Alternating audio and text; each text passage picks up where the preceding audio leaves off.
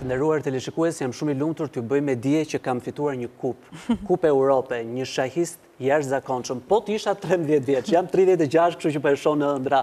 Do t'njekim një insert, sepse do t'flasim për një kampione të Europës në shah. Ka folur e gjithë media për të, ne do t'kemi mundësi të bisedojmë në studio, por ndjekim një insert prezantues dhe më pas me panelistët në studion e Jetë Shqiptare.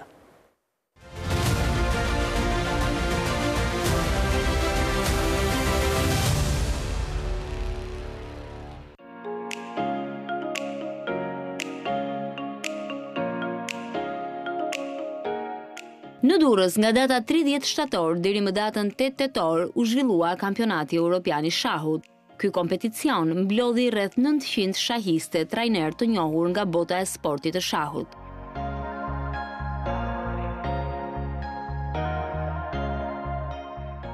Kampionati këtë vit shënoi numrin rekord të pjesëmarrësve me njëqind e dhjetë ekipe nga tridhjetë e katër federata europiane. Ceremonia finale e ndarjes së çmimeve u mbajt në Tiranë, në Pallatin e Brigadave, duke u konceptuar si një mbrëmje gala ku u ndanë dhe kupat, diplomat e medaljet.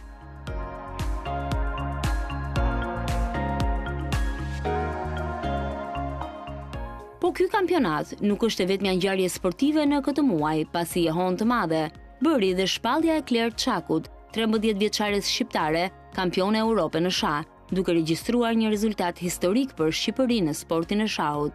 Teksa u shpall kampione Europe për vajza deri në 14 vjeç, sportistja e ekipit të Teutës në Slloveni regjistroi 7 fitore dhe 2 barazime.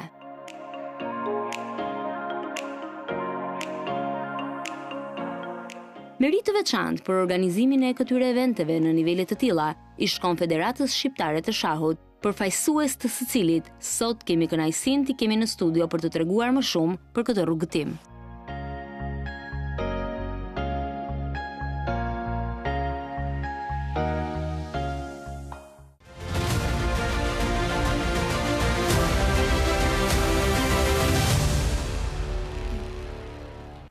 Dhe tashmë kampionen e Europës në shah Kler Çakun, trembëdhjetë vjeçaren e kemi në studio. Kler përshëndetje, mirë se na ke ardhur. Faleminderit. Shumë urime për titullin. Shumë faleminderit. Kler shoqërohet nga trajneri i saj zoti Kristaq Qëndoni, përshëndetje dhe mirë se na keni ardhur. Mirë se ju gjeta. Dhe gjithashtu nga zonja Majlinda Pilinçi, sekretare e përgjithshme e Federatës Shqiptare të Shahut. Faleminderit për pranimin e ftesës. Mirë se erdhët. Faleminderit ju. Faleminderit që jeni me ne. Në fakt unë besoj e kam mirëkuptimin tuaj që ta nis me kampionen intervistën edhe të marr një një emocion urime edhe një herë dhe nga ana ime. Unë ëndrrova vetëm pak sekonda që ta kisha atë kupë në dorë, por e kam lënë shahun me kohë si si sport. Ndërkohë si si ndihesh? Çfarë do të thotë ky vlerësim për ty? Jam shumë e lumtur si fillim që kam fituar kampionatin europian, sepse është rezultati më i mirë që kam marrë deri më sot, edhe ka qenë kampionat shumë i rëndësishëm. Edhe kam patur emocione që kur mora kupën, që kur nisi kampionati, të them të drejtën, edhe tani akoma i kam Emocione. Kur u ktheve me kupë në dorë të pritën në shkollë si si vip apo? Po, në shkollë e kishin marrë vesh shumica e njerëzve në shkollë dhe më kanë pritur shumë mirë. Çfarë ndjen kur e sheh veten dhe në insert po të shihja që e ndiqje veten me vëmendje, po e dëgjoje dhe kur e sheh veten në ekran, kur e sheh veten në tituj të mediave online nëpër gazeta, Si si ndihesh? Ndihem shumë mirë patjetër edhe më pëlqen t'i shoh fotot që kemi bërë gjatë kampionateve. Aha, po do më tregosh pak si ishte ky rrugëtimi në Slloveni apo jo? Po. U mbajt kampionati europian, ku ti u shpalle fituese. Si ndodhi? Pra, gjatë gjithë kohës ti ishe me fitore të njëpasnjëshme, ndodhi që të kishe barazime, humbe ndonjëherë, më trego pak. Ok, atëherë si fillim kampionati ishte me nëntë ndeshje. Nëntë ndeshje. Që u zhvilluan brenda dy ditësh. Edhe dy ndeshjet e para unë i fitova. Ok. Më pas në ndeshjen e tretë bëra një barazim, sepse shkoi loja në një mënyrë të tillë që nuk e fitonte dot asnjëra. Ok. Dhe pastaj unë bëra diçka që nuk e prisja, fitova pesë ndeshje rresht.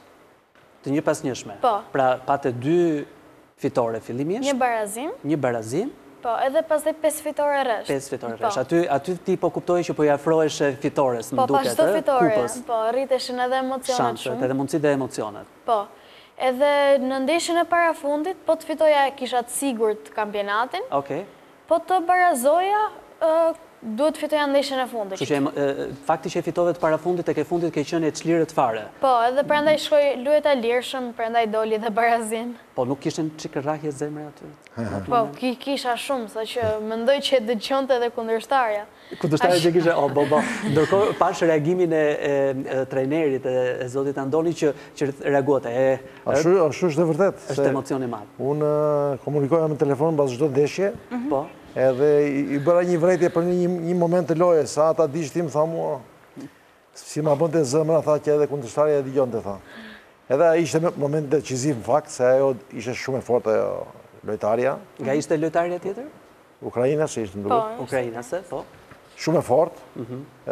Kleri në një takim të mëparshëm ajo kishte fituar para një dy vjetësh. Kështu që këtë pikë që ishte kyçe, kjo e kaloi me sukses. Po çfarë do thotë kjo fitore dhe për ju, sepse Kupën e mori vërtet Kler dhe është merita e Kler, po është meritë e padiskutueshme dhe e juaja si trajner? Kjo është meritë e Federatës Shqiptare të Shahut. Bukur. Në mënyrë të veçantë, sepse Federata Klerin e ka përkrahur. E ka përkrahur në të gjitha drejtimet. Klerin e duan të gjithë, është një vajzë e mrekullueshme, është një nxënëse e shkëlqyer. Dhe Kleri ka ardhur e vogël. Unë pashë një fotografi aty bashkë me Mateon, ja Mateo, edhe ai ka fituar medalje bronzi. Ata kanë filluar rrugëtimin bashkë para 6 vjetësh. Janë shumë serioz në stërvitje, mësojnë, i bëjnë të gjitha detyrat. Mirëpo kjo nuk mjafton sepse kemi ardhur në një pikë që është pika kyçe që kjo duhet të bëjë një hap më sipër. Dhe hapi i sipër nuk mjafton as unë, as federata, por duhet ndihma e shtetit në kuptimin që kërkesat e kësajt janë rritur. Do një trajner më të kualifikuar se unë, ta pranoj me modesti, do një program të veçantë, Sepse kjo i ka të gjitha të dhënat që të bëhet mjeshtre e madhe në shah dhe më lartë. Zonja Pilinçi, Kler është një talent absolut në shah, por a ka Shqipëria talente të tjerë si Kler? Po, sigurisht, Kleri është ka arritur majat në moshën e saj dhe gjithashtu profesor Kristaqi e din që edhe në grupin e vet edhe në brezin e ri është një, një grup të rinjsh të cilët në vitet e fundit kanë bërë hap cilësor dhe që janë drejt majave qoftë në, në ndeshjet në Ballkan apo në ato europiane kanë arritur që të kenë sukses pavarësisht se është Kleri sigurisht është është në majën e këtij grupi dhe ajo që ka bërë federata në këto vite është pikërisht që është përpjekur që të gjejë mënyra të ndërtojë strategji për të arritur që të kemi të kualifikojmë edhe të investojmë tek të rinjtë dhe jo vetëm Kleri, profesor Kristaq është gjithashtu thotë që është meritë e federatës, po është pjesë e bordit drejtues të federatës dhe prandaj ne të gjithë bashkë jemi përpjekur që të gjejmë mënyrën për të punuar dhe për të gjetur rrugët për mbështetjen e të rinjve dhe një pjesë e mirë e tyre janë prej tre vjetësh edhe stërviten me Akademinë Europiane të Shahut dhe me shahistët, me trajnerët më të mirë të Europës, por edhe të botës, por sigurisht ato kanë nevojë për më shumë mbështetje sepse duhet të marrin pjesë në gara, duhet stërviten në shtëpinë e tyre, ju mungon shtëpia e tyre e shahut që Federata Shqiptare e Shahut nuk e disponon për momentin. Megjithatë, pavarësisht këtyre, domethënë janë bërë të gjitha përpjekjet, jo vetëm mhm. për për të punuar me të rinjtë dhe për të realizuar, për të organizuar eventet dhe për të mundësuar pjesëmarrjen e tyre, por gjithashtu ne kemi kemi investuar dhe kemi punuar edhe në drejtim të organizimit e eventeve. Kështu që në këtë këndvështrim do të presim më shumë kampionë, besoj. Është një fakt, shumë kuptimplotë, se nuk është puna se është vetëm kleri, ka dhe shumë të tjerë, shahistët e rinj shqiptarë, nga viti i kaluar dhe sivjet, kanë marrë medalje sa për 30 vitet së bashku.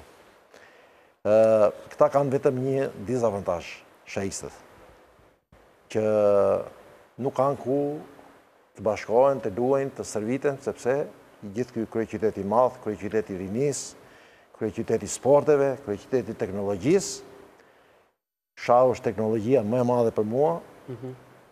sepse ka të bëjë me trurin e njeriut, ka të bëjë me libra, është ka gjithë bota luan nëpër shkolla dhe ka dhe në universitet. Ku i keni zhvilluar seancat trajnuese bashkë me Klerin? Shumica bëhet online. I keni bërë online? Online, s'ka. Kështu që unë gjej rastin, bëj një thirje, kryetarit të bashkisë, edhe kryeministrit, që është e domosdoshme për rininë në përgjithësi, që të kenë një ambient, që të luajnë, të mësojnë, sepse sporti i shahut është sporti më edukativ në botë. Mhm. Ka veti të mrekullueshme për çdo fëmijë. Dhe unë Kam shumë kërkesa.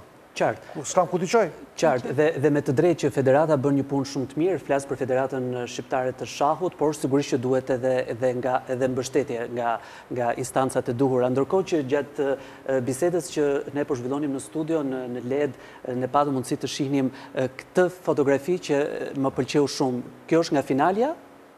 Jo, ai është shoku im i ekipit. A, okej, se më pëlqeu shumë kjo shtrëngimi i duarve dhe nuk e dija, ndodhi dhe me ukrainasen kështu?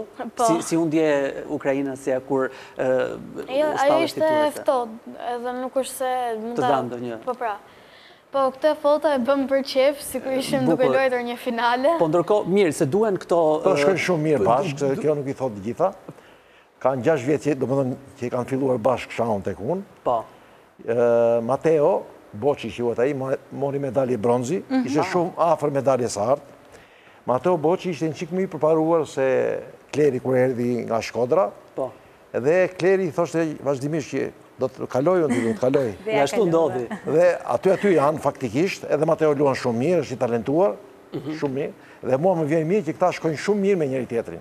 Po ndërkohë, çfarë kishte Kler, profesor, që u shpall fituese në kuptimin midis shumë shahistëve të talentuar? Ku e ka yllin Kler, sepse kam përshtypjen duhet stërvitja, apo duhet intuita, duhet gjakftohtësia në lojën e shahut? Tashti mos gaboj, më duket se ky ishte trofeu i 17-ti bashkë me medaljen e argjendtë, se ka marrë dhe një medalje të argjendtë në këtë aktivitet Kleri, Dhe për një shahiste trembëdhjetëvjeçare, besoj se nuk është pak, ma në të marrë. Po, sigurisht. Edhe ka marrë pjesë në evenimente shumë të mëdha, Kleri. Edhe po. këtu në Shqipëri ka kaluar një çikë në heshtje. Për herë të parë kjo mori pjesë në kupën e botës. Mhm. Ku krahas Gjashtë shahistëve më të mirë të moshës katërmbëdhjetë vjeç, Kleri është trembëdhjetë, ishin dhe dhjetë shahistët më të mirë të botës për të rritur. Dhe kjo u zhvillua për herë të parë në Dyseldorf. Aty krahas trajnimit, testimit, u bë dhe një turne dhe Kleri doli e para dhe u shpall fituese e Kupës së Botës. Po ndërkohë çfarë e bën Klerin kaq kaq të veçantë? Ku e ka armën e fortë Kler?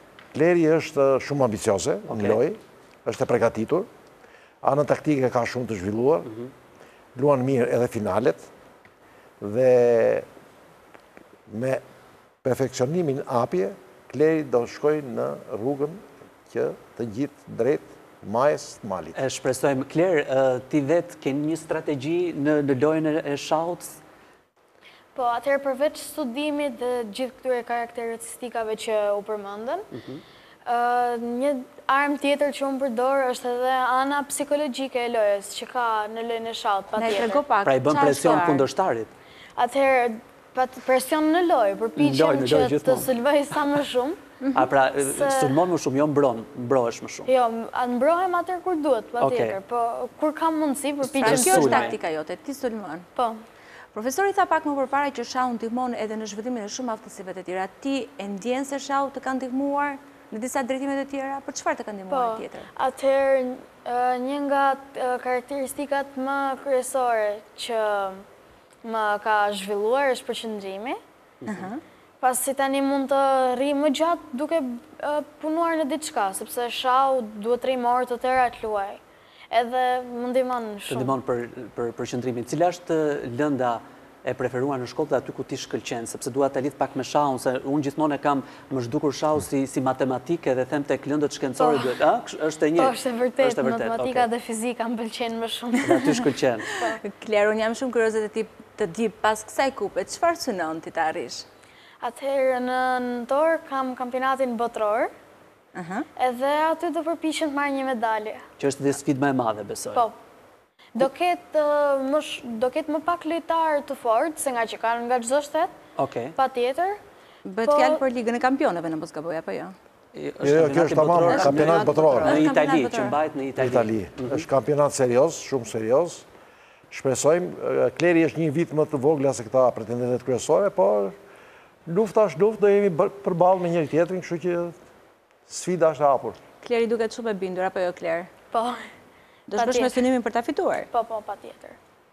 Elona e preku pak më herët Ligën e Kampionëve që u mbajt në kampionati i shahut që u mbajt para disa ditësh në Durrës, apo jo? Flasim pak për këtë aktivitet, pse u zgjodh Shqipëria, zonja Pilinçi, për t'u mbajtur ky kampionat në vendin tonë? Po, unë fillimisht do ta nis të përmend dhe diçka për Klerin, po, meqenëse ju i bëni pyetje, Kleri mbërriti në Shqipëri menjëherë pas uh, fitores uh, kupës, ditën tjetër iu desh që uh, pasi u kthye nga udhëtimi të luajë ndeshjen e dytë, sepse ndeshjen e parë e kishte të pamundur të luante.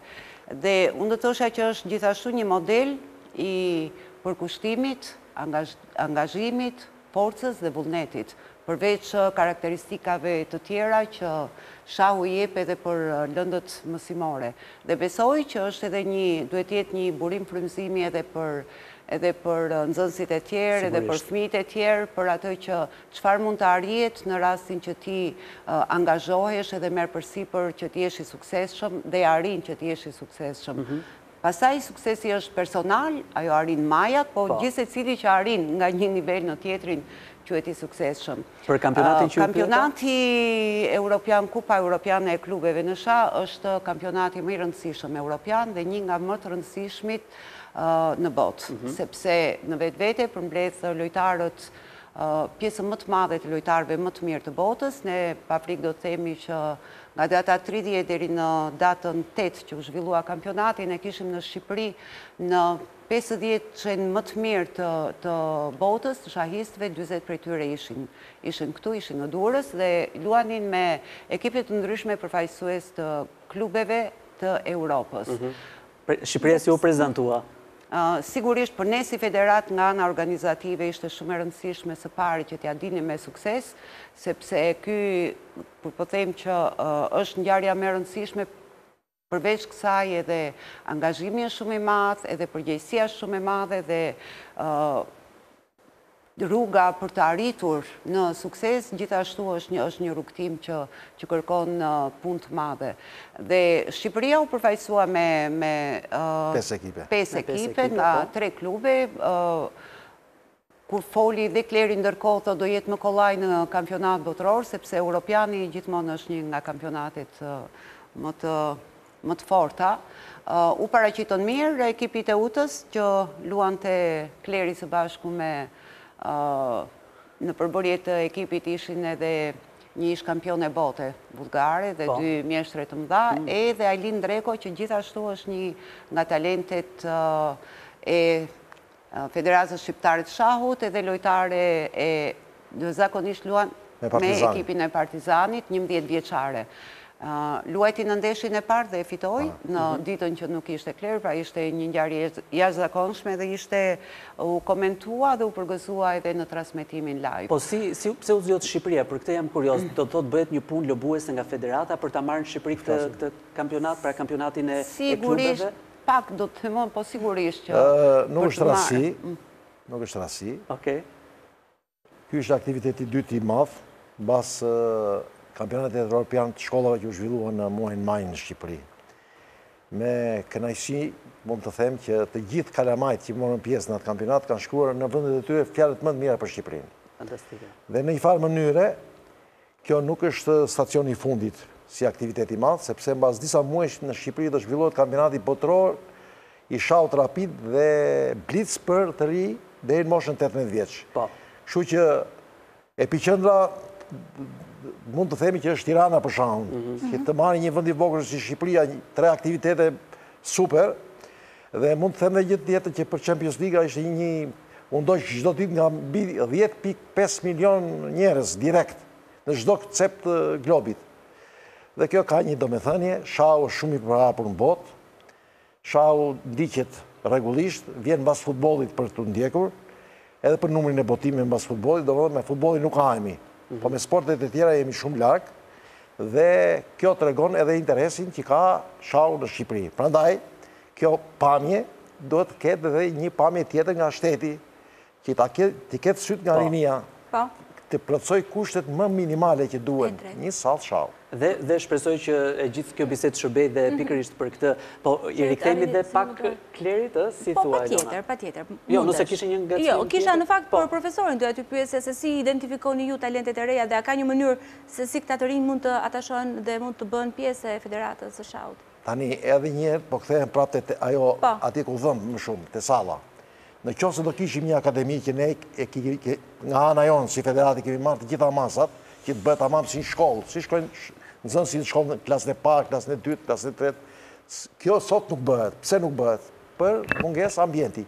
Dhe ne jemi detyruar për shembull që Kleri të stërvitet me një tetë vjeçar, me një dhjetë vjeçar, me dymbëdhjetë vjeçar dhe Ndryshe do ushqimin Kleri, ndryshe do ushqimin një i vogël, ndryshe... E qartë, kjo është pengesë e madhe shumë. Po patjetër dhe një pilinci, mund dhe një. Jo, jo pa qëllim Kristaqi përpiqet që të theksojë atë që është mangësi, po ndërkohë në qoftë se i rikthehemi pse Shqipëria, është nuk është një gjë që vjen në mënyrë të rastësishme, është padyshim Kërkohet që të ketë lobim, duhet të krijosh besimin, punën e vazhdueshme dhe në vitet e fundit, mbi dhjetë, njëmbëdhjetë vjet, Federata Shqiptare e Shahut është angazhuar jo vetëm në organizimin e eventeve, edhe në atë, në punën me brezat e rinj, edhe me talentet, edhe në përfaqësimin e Federatës në aktivitete ndërkombëtare, por gjithashtu në organizimin e eventeve të ndryshme ndërkombëtare. Ky event është,